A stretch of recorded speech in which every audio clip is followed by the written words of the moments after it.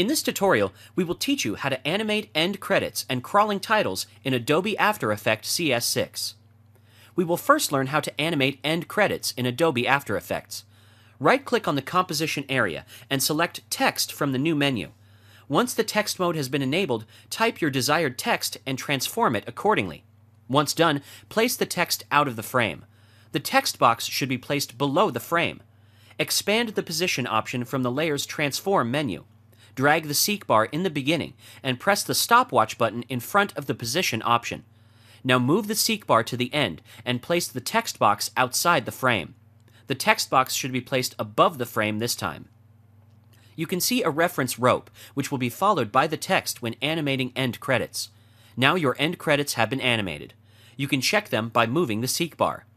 Similarly, crawling titles are done in the same way, but this time we will animate it on the x-axis, that is the horizontal position. In order to do so, create a title, rename it, and transform it as per your needs.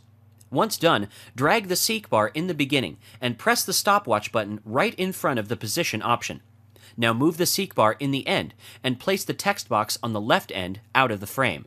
You can see a reference rope which will be followed by the text when animating crawling titles.